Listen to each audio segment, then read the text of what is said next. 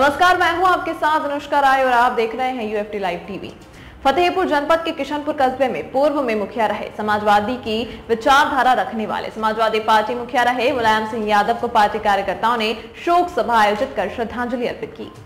बता दें कि पिछले 1 अक्टूबर को मुलायम सिंह यादव का निधन हो गया था और उनके निधन की खबर सुन पूरे प्रदेश में शोक की लहर दौड़ गई थी। इनके निधन के बाद से लगातार पार्टी कार्यकर्ताओं द्वारा उन्हें श्रद्धांजलि दी जा रही है। उसी के चलते किशनपुर कस्बे में भी समाजवादी पार्टी के नगर अध्यक्ष अखिलेश अग्रवाल के नेतृत्व में कार्यकर्ताओं ने शोक सभा आयोजित कर श्रद्धांजलि दी। इस दौरान सुशील सोनी, श्याम अग्रवाल, सोनू अग्रवाल, अविरल अग्रवाल, कल्लू यादव समेत तमाम कार्यकर्ता मौजूद रहे। शांति भोज का जो आयोजन में और पूरे देश में हो रहा है, उसका हम लोग किशनपुर नगर कमेटी ने भी इस शांति भोज के उपलक्ष्य में एक श्रद्धांजलि सभा रखी गई है, क्योंकि आज हमारे अग्रज, हमारे गुरु और इस समाजवाद को सर्वोच्च श्रेणी में ले जाने वाले आदरणीय नेताजी मुलायम सिंह यादव जी का एक अक्टूबर 2022 को निधन हो गया।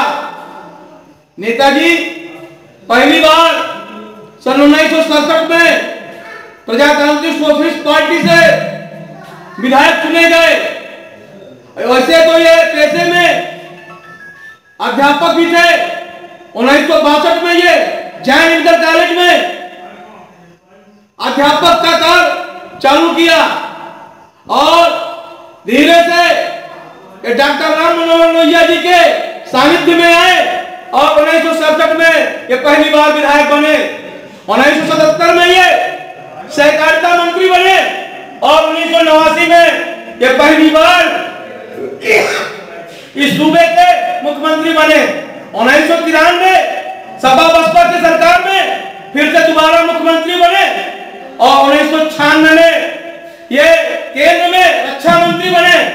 और आज जो ये ताबूत देख रहे हैं, आज जवानों के जो ये ताबूत आपके घरों में, जवानों के घरों में आ रहे हैं।